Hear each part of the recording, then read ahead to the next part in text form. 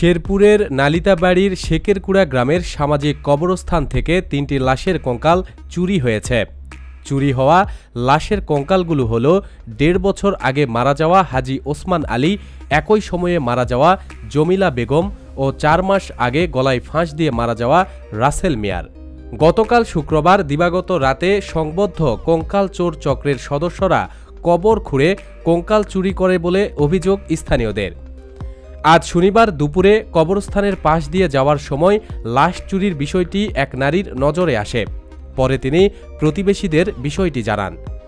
স্থানীয় ওই নারী জানান, আজ দুপুরে কবরস্থানের পাশ দিয়ে এক আত্মীয়র বাড়িতে যাওয়ার সময় তিনি কবর খোঁড়ার নতুন মাটি দেখতে পান। পরে কাছে গিয়ে দেখেন, তিনটি কবরে বাঁশের ঢাকনা খোলা এবং ভিতরে লাশ নেই।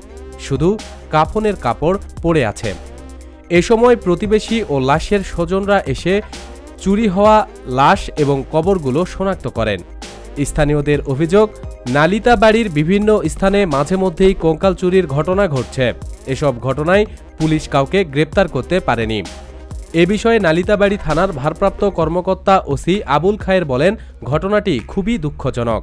আমরা কঙ্কাল চোর চক্রকে ধরতে তৎপর আছি। প্রতিদিন সব খবরাখবরের জন্য আমাদের সাথেই থাকুন এবং আমাদের চ্যানেলটি সাবস্ক্রাইব করুন। ধন্যবাদ।